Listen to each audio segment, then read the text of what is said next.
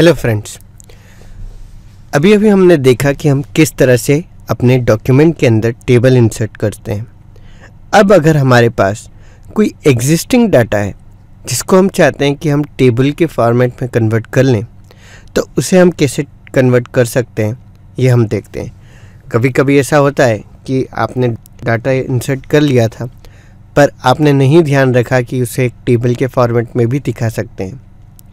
तो यहाँ हम देखते हैं कि अगर पहले से कोई एंट्री हमने की थी, और अब हम चाहते हैं कि वो एक टेबल के फॉर्मेट में आए तो उसे हम कैसे दिखाते हैं? तो हमारे सामने यहाँ पे वर्ल्ड इन्वायरमेंट डी का एक डॉक्यूमेंट ओपन है। मैं नीचे स्क्रोल करता हूँ। तो यहाँ पर हमने अभी एक टेबल बनाया था, और अब इस जगह पर हमारे पास टाइप्स ऑफ़ ट्री का एक डाटा यहाँ पर अवेलेबल है। और अब मैं चाहता हूँ कि ये डाटा जो है, ये एक प्रॉपर टेबल के फॉर्मेट में आए।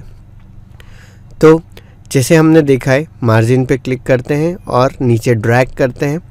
तो हमारा जो भी डाटा हम टेबल के फॉर्मेट में कन्वर्ट करना चाहते हैं, उसे सेलेक्ट कर लेते हैं।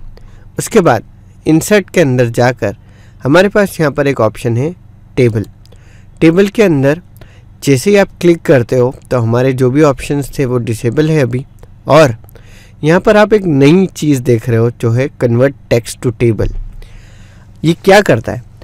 ये करता है कि split a single column of text into multiple columns for example you can separate a column of full name into separate first and last name column यानी कि हमने जो भी टेक्स्ट यहाँ पर सेलेक्ट किया हुआ है, उसको ये टेबल के फॉर्मेट में कन्वर्ट कर देगा। तो जैसे ही मैं इसे क्लिक करता हूँ, यहाँ पर एक डायलॉग बॉक्स ओपन होता है। जिसके अंदर आप देख सकते हो कितने कॉलम्स हैं, कितनी रोज़ हैं वो यहाँ पर आ जाता है। उसके बाद इसका ऑटो फिट बिहेवियर किस तरह से रहना चाहिए? फिक्स कॉलम विथ होना चाहिए या फिर ऑटो फिट टू कंटेंट होना चाहिए या फिर ऑटो फिट टू विंडो होना चाहिए। मान लेते हैं कि इसे कंटेंट के हिसाब से ऑटो फिट हो जाना चाहिए। अब किस तरह से सेपरेट है और टेबल किस तरह से फॉर्म हो वो यहाँ पर पता चलता है। सेपरेट टेक्स्ट एट अगर जैसे पैराग्राफ से सेपरेट कराना है तो पैराग्राफ से कर सकते हैं। कॉमर्स से कराना है कॉमर्स से कर सकते हैं। कभी कभी हम ऐसा डाटा बना लेते हैं। Suppose first name comma last name comma contact number comma तो जितने भी कॉमाज हैं, वो आपके कॉलम नेम्स हो सकते हैं। तो आप कॉमा से सेपरेट करा सकते हो।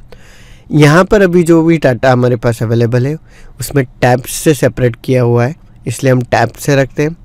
अगर आपने कुछ और सेपरेटर यूज़ किया है तो आप अदर करके यहाँ पर बॉक्स में वो सेपरेटर इंसर्ट कर सकते हैं। तो हमने टैब के थ्रू किया हुआ है, इसलिए मैं टैब्स को सेलेक्ट करता हूँ ऑटो फिट टू कंटेंट करता हूँ और ओके कर देता हूँ। तो जैसे मैं ओके करता हूँ तो आप देख सकते हो यहाँ पर एक प्रॉपर फॉर्मेटेड एक टेबल इंसर्ट हो गया। आप इसको इजीली ड्रैग करके बड़ा कर सकते हो, जिस तरह से आपको इंसर्ट करना है। और जैसे ही हम टेबल के अंदर क्लिक करते हैं आप देख सकते हैं यहाँ पर ऊपर डिज़ाइन और लेआउट के दो ऑप्शंस ओपन हो जाते हैं।